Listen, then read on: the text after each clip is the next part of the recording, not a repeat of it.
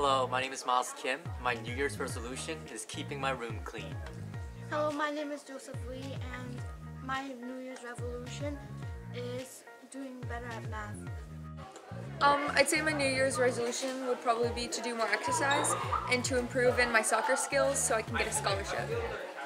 My New Year's resolution is to take action in more leadership opportunities and leadership roles. Maybe try to get into some volunteering. Maybe start a club. Who knows? I want my English could be more improved and I want to be more outgoing to make more friends.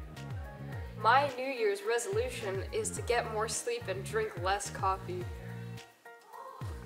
I have more than one. It's gonna be like go out more, meet new people, and get new friends.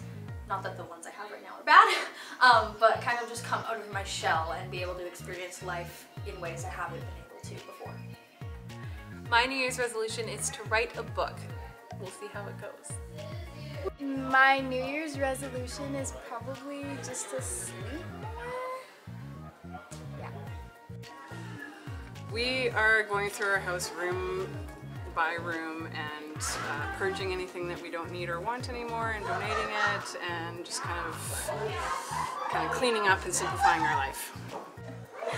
Uh, I don't have a New Year's resolution because like, I, even if I make them, I'm, like I never do them anyway. Sad.